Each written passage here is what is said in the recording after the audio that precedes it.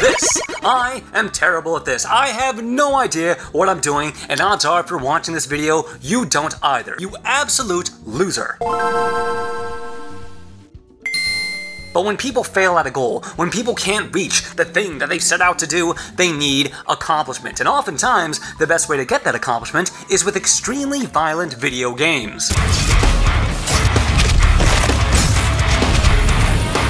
The reason? catharsis. I don't want to just accomplish something, I want to accomplish something in the biggest spectacle possible, with a whole lot of evidence all over the walls of exactly what my prowess is. The bloodier a game is, the more capable you feel, and these five games are how I got into violent flash games, and how I never played them again. The premise with Skull Kid is you're an office worker that got really pissed off and just decided to murk everybody. There's not a whole lot of uh, underlying plot or dialogue to what you do. You got a chainsaw, you got a gun, you're using it on unsuspecting office workers because they, for whatever reason, have wronged you in some way. I'm assuming you're justified in your actions, but to be honest with you, a lot of these early Flash games were very bare bones when it came to your real motivations. Now this guy reminds me so much of the main character of Falling Down. Has a bad day, right? One of those days where you're just like, I, I can't deal with it anymore. I, I really just cannot deal with it anymore, and you break. Now it did have some novel game mechanics for the time, mainly cover shooting. Gears of War was super big, and the era of stop and pop when it came to shooting was a new concept at the time. The timing of everything is like so satisfying when you get it just right, even though there's like no feedback before you actually kill them, but you know, for the most part, it's pretty good. A decent entrance into the genre. Pico School is a game about school shootings. Living in Montpelier, Vermont, believe it or not, we had our fair share of scares. I distinctly remember one day,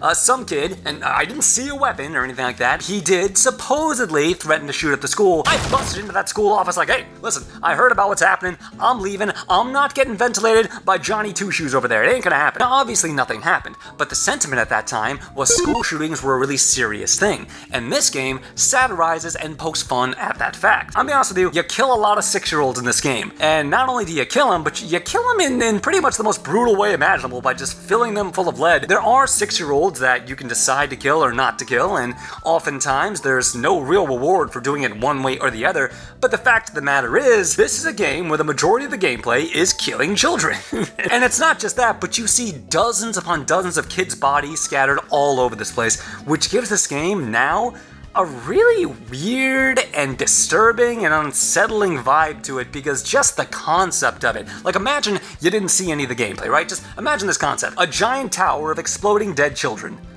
Not exactly the most pleasant thing. A game like this could never be made today. I'm telling you, there's no way any game developer, either independent or mainstream, is gonna make a game where the main prospect is murdering infants. It's not gonna happen, dog. And if you don't believe me, take a look for yourself. Has there been a game like it? No! Divine Intervention was one of my favorite games growing up, all because of the damage model. The smoothness of the animation was one thing. I had never seen a game that moved so fluidly before. This thing was at legitimately 60 FPS, and the art style looked so high quality, man. It was so gorgeous just to look at. Then, of course, we got the damage model. Now, previously to this, Flash games didn't really have a whole lot when it came to damage models. If you shot an enemy in a game, they either keeled over or died, or they had like a single bullet wound in their head, like Madness Interactive. But with Divine Intervention, there were layers of flesh. The more that you shot at a part of a body, the more layers of that flesh would peel away, showing face and skin and blood and bone. It was unbelievably gruesome for the time, and it was awesome. Yeah, the majority of your enemies are six-year-olds.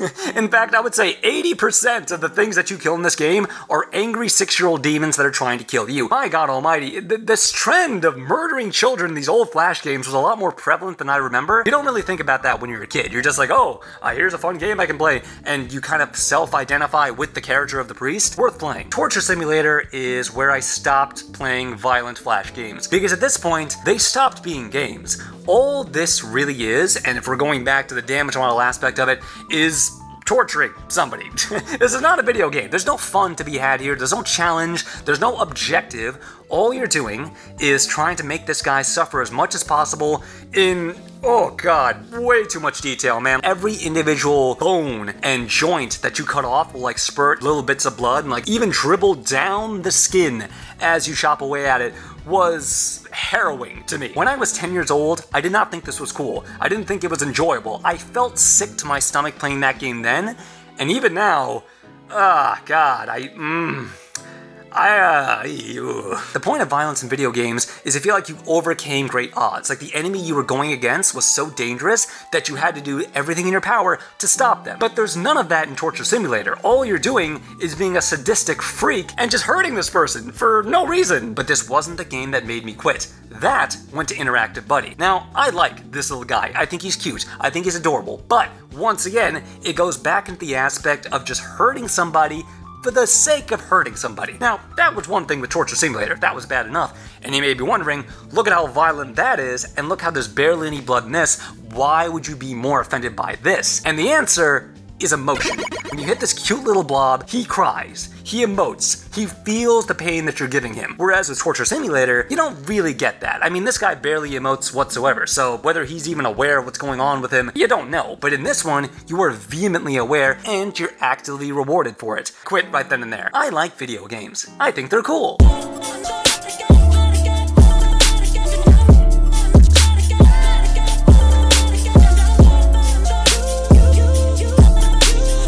I hate video games.